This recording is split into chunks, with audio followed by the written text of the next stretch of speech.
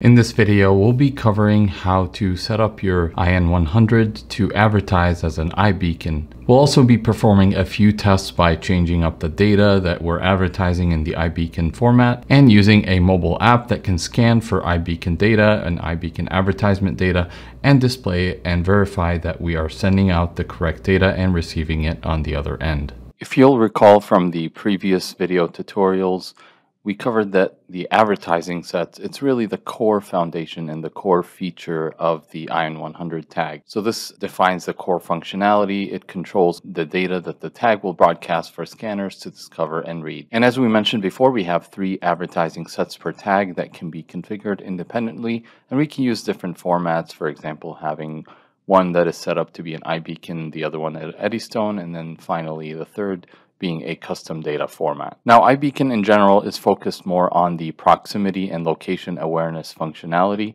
So it would be specifying a tag ID that it would broadcast and conveys the proximity and being aware of the location of that beacon when the scanner discovers it. So iBeacon format is limited to advertising an ID and there are no other data types that are supported versus when using Eddystone you can include other data such as telemetry data that includes the voltage reading, the temperature, and others. So let's go ahead and go through an exercise of configuring the tag to use iBeacon format. And we'll do this just for the advertising set number one, which is enabled by default. I'm going to go into edit and then make sure you have the advertising settings selected on the left side and then choose iBeacon and go into settings. By default, you'll have a UUID. You are free to use your own UUID and you can generate a UUID by going to special websites that can automatically generate them for you. One example is this website listed here, and you can go navigate to that to customize your own UUID.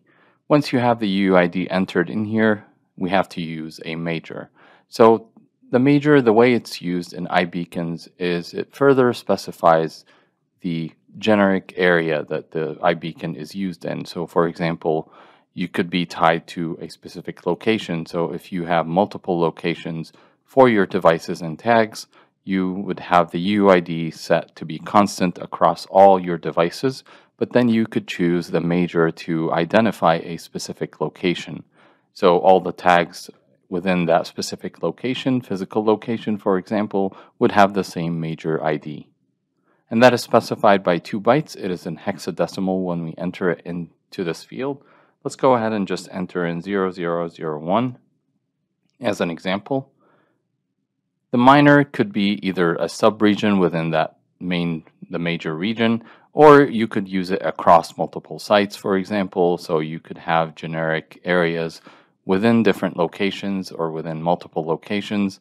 For example, if we're looking at a retail store, we could have the minor ID represent a specific type of aisle. So aisles for perishable items or produce, then that would be assigned an ID and it would be the same across the different locations, but the tags that are deployed in these locations or in these sub-regions within that location would be unique in that the major and the minor together as a combination would kind of identify the specific tag at the specific location. Finally, we have the measured TX power, which is measured at one meter the recommendation from Apple here is to take multiple measurements at different points and then use the average. For minor, I'm going to use 0002 as an example for this tag and then measure TX power. I'm going to say it's about minus 40 dBm. Once we hit OK, now we are ready to run. So make sure you have your beacon or your tag connected to your computer. I'm going to go ahead and connect mine right now we can go to Device Manager and make sure that the tag is recognized. Once you go into Device Manager, you can go and look at ports, COM and LP, LPT, and make sure that you have a USB serial with CH340 as a device that shows up with no errors or warnings. This is on COM7 in my case, so I'm going to hit probe and it matches COM7. Now we can connect to the device. You'll be prompted with a dialog telling you that it was successfully connected. We hit OK, and now we're actually ready to run in RAM. If you've run in RAM before, uh, you might want to reset the device, and that's done by hitting the reset button on the tag itself on the development kit, and then you can run in RAM again or make sure that, um, that it works. So I just ran it now, and it looks like it was successful, so I'm going to hit OK. Now I'm going to head over to an Android app that I'm running called Beacon Scanner. This application specifically looks for Eddystone and iBeacon tags that are advertising in the area so we are not bombarded with the many devices, many BLE devices that are advertising and only focusing on Eddystone and iBeacon. And it also provides a nice interface that parses the information that's included in those tags. Okay, let's switch over to the Android phone, the Android app Beacon Scanner, and here I have it running. And I'm just going to hit play. And now it's discovering the iBeacons and Eddystones within the vicinity. And we can see we discovered one over here and it matches the settings that we had. So if we go and look at the raw advertising data, we can see that we are using manufacturer specific ID and then for the major, we are using 01 and 02 for minor, and that's what matches here on our display. We can go ahead and block other devices, for example, so that it, they don't show up. But this here, the one that is classified as iBeacon, has the UUID that matches our UUID. So if I go back and look at the UUID, I can see that it starts with E2C5 and that matches here and ends with 96E0. And the major is 01 or 0001 and the minor is 0002 and it shows us the RSSI that is being discovered at as well as the TX power that we set. Let's go ahead and just make a few changes, just one more. I'm going to modify this to 1, 0, which is 16, so we should see 16 for the minor. Let's go ahead and do 100 for the major. This is in hex again, so this will be 256, I believe. We'll hit OK. So now I need to reset the board in order to be able to run in RAM again. And if we look now, let's clear the display, the scan, and scan again. And we can see here that we discovered the iBeacon. And you can see here the major is 256, which matches 100 hex, and minor is 16, which matches 10 hex. So one of the other parameters that we could modify and notice and verify that it is being discovered and the tag using correctly is the advertising interval. So for advertising parameters, the default is one second or 1000 milliseconds.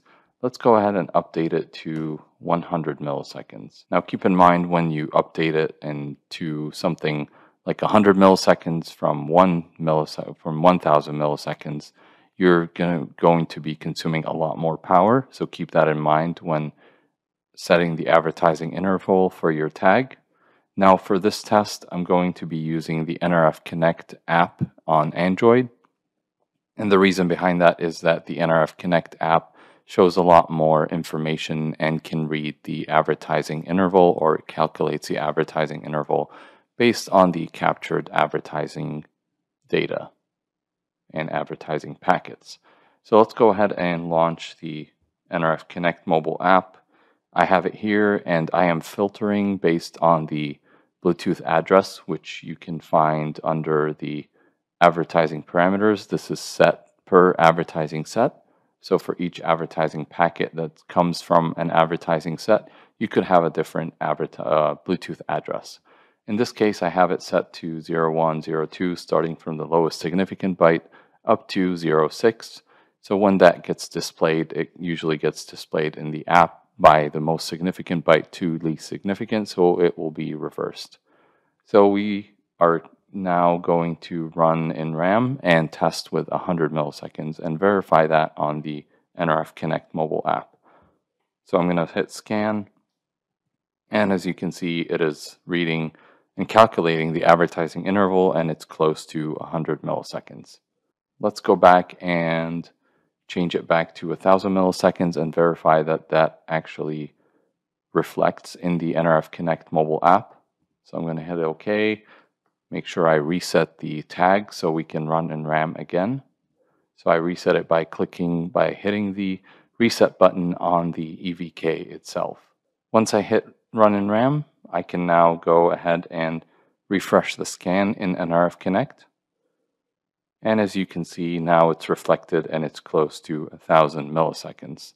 Let's do one more test and just update it to something much higher. Let's go for 3000 milliseconds or 3 seconds. Again, reset the tag, as simple as it is. Run in RAM and refresh, and you'll see that it should be close to 3000 milliseconds. And here we go. So that's really as simple as it is. We can just modify these settings, run in RAM when we're ready, and we want to deploy this to the beacon that is permanent. The permanent configuration, then we can do the burn and program button, and that will permanently burn this to the OTP on the tag, and then you can disconnect it from the programmer, plug in, put in a battery, and run it independently. We'll see you in the next video. Thanks for watching.